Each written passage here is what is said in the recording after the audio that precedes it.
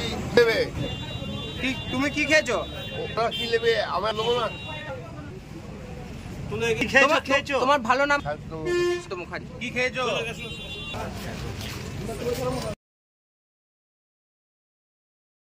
সকাল সকাল মদ খেয়ে পুলিশের মাতলামি। তার এমন মাতলামি রীতিমতো হার মানাবে পোর খাওয়া মাতালদের।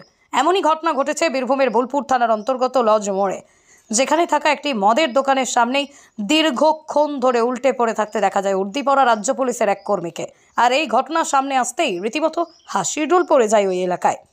সূত্র জানা গিয়েছে, ওই কনস্টেবলের নাম শান্ত মুখার্জি।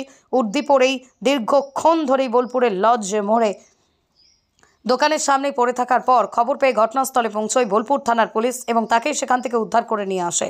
তবে এই ঘটনার পরিপ্রেক্ষিতে বোলপুর থানার এই এক পুলিশ আধিকারিক অসুস্থ হয়ে ঘুমিয়ে পড়েছিলেন বলেই জানিয়েছেন।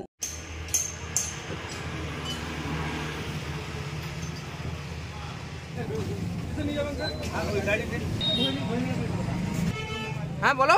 শরীর খারাপ? কি হয়েছে? কি খেয়েছো? কিছু খেয়েছো? কি খেয়েছিলে?